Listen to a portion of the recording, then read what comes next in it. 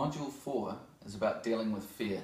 Now, this is so important as a musician because the biggest thing that stops people from really living their dreams as a musician is fear.